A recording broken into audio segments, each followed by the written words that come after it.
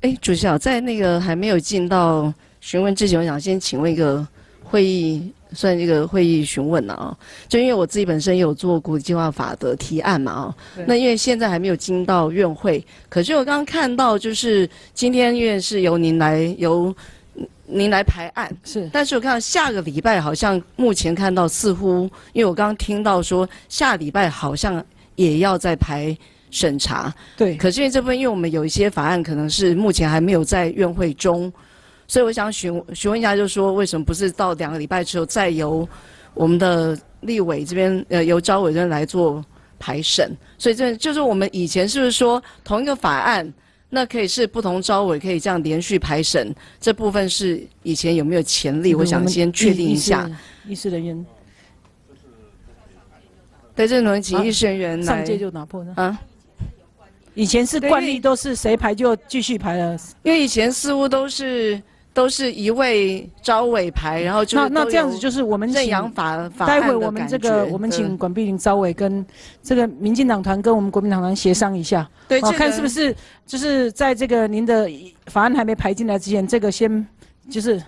对，我说我们我们再来请。但是我说第九届的问是说是两党大家有协商好，对，有默契啊，就是谁排以后是谁排就若两党协商过，那个一个礼拜就两个礼拜连续排，那是经过协商之后的一个默契嘛。是。那如果说还是说以前就已经开始，也不需要协商就可以分别都这样排，就这已经是这是会特例，还会已经是形成过。形成惯例，因为这话就会牵涉到每个委员会或立法院的一个运作的形态。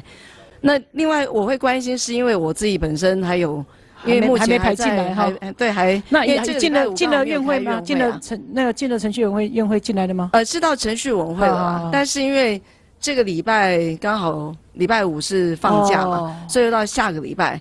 但因为下礼拜现在就是到礼拜二二会排进来吗？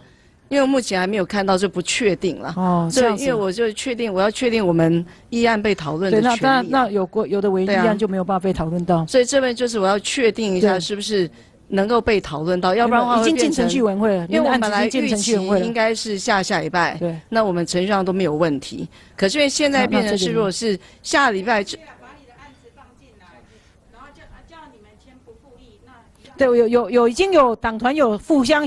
民进党和国民党团是已经有协商说不复议了嘛？哈，那有没有把我们林委员的案子放进来？还没复进呢，因为还没有复委啊，根本没复委。对，那所以这个就会影响到哈。对，一个是影响到，另外一种想确认一下，说这种轮就是说不需要经过协商连续排这件事情。我们等一下就是没有这个事情是已经在立法院已经是。